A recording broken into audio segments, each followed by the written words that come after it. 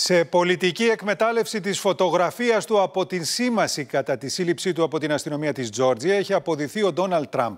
Ο πρώην πρόεδρος έχει κάνει σημαία για την παραμονή του για ένα 20 λεπτό στη φυλακή, ευελπιστώντας ότι η θυματοποίησή του θα του εξασφαλίσει σε πρώτο στάδιο το χρήσμα των Ρεπουμπλικάνων και εν συνεχεία την εκλογή του για να επιστρέψει στο Λευκό Οίκο. Hardened criminals, wandering celebrities, and now this one. For many, a mugshot is a step toward the penitentiary, but Donald Trump hopes his will lead back to the presidency. Για τους περισσότερους, η φωτογραφία σήμανσης είναι μια ταπεινωτική στιγμή. Ο πρώην Αμερικανός πρόεδρος όμως επιδιώκει να τη μετατρέψει σε επικοινωνιακό θρίαμβο. Βλοσιρός και με βλέμμα περιφρόνησης, κοιτάζει την κάμερα σαν να αντιμετωπίζει τον εχθρό. Όσους τον καταδιώκουν, όσους τον αμφισβητούν το βαθύ κράτος προσπαθεί να κάνει τον πρόεδρο Τραμπ τον υπαριθμόν ένα δημόσιο εχθρό, επειδή τολμά να αμφισβητεί την διεφθαρμένη άρχουσα τάξη της Ουάσιγκτον. Ωστόσο, ο πρόεδρος Τραμπ δεν θα απαρνηθεί ποτέ την αποστολή μας να κάνουμε την Αμερική μεγάλη ξανά.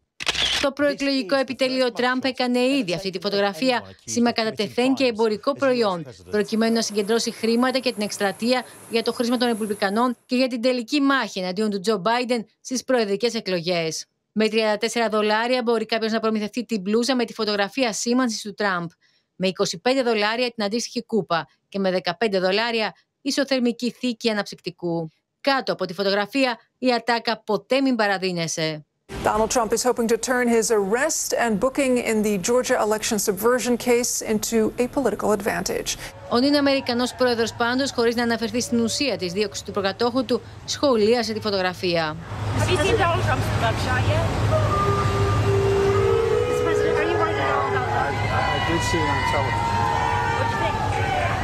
seen Donald Trump's mugshot yet? Mr. President, are you worried at all about that? I, I did see it on television. What do you think? Handsome guy. Για την ιστορία, ο Τραμπ και οι 18 στενοί του συνεργάτες που διώκονται για την επιχείρηση ανατροπή του εκλογικού αποτελέσματος παραδόθηκαν εγκαίρως στις αρχές.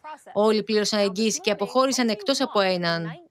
They just have no understand what this really stands for. I mean, this this is not good, right? He is in significant legal trouble.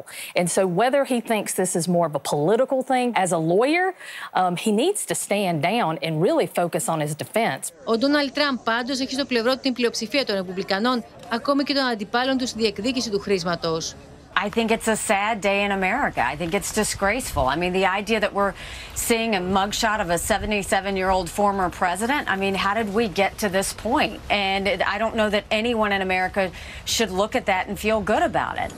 Παρά τις σοβαρές εκκρεμότητες του Τραμπ με τη δικαιοσύνη, ο πρώην πρόεδρος διατηρεί προβάδισμα 40 μονάδων από τον επόμενο υποψήφιο στην κούρσα των Ρεπουμπλικανών, αφήνοντας την Αμερικανική κοινωνία μετά τη φωτογραφία του να συζητάει τώρα για το βάρος του, καθώς ο ίδιος δήλωσε στο σερίφι της Τζόρτζια ότι είναι μόλις 98 κιλά.